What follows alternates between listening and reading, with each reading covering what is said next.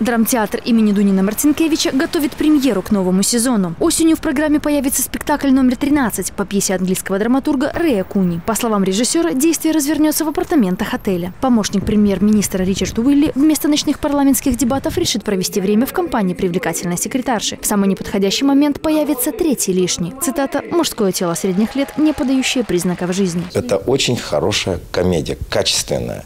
Именно драматургически качественная. Это очень высокая драматургия, я бы сказал. Из комедий, наверное, самая, одна из самых высоких. И плюс ко всему команда подобралась очень серьезная. Это может получиться очень смотрибельный спектакль, который создаст настроение. Постановка Татьяны Троинович. Я думаю, что Татьяна Михайловна известна уже очень хорошо бобруйскому зрителю по постановкам «Точки на временной оси», к слову сказать, лауреат национальной премии. Это наша гордость.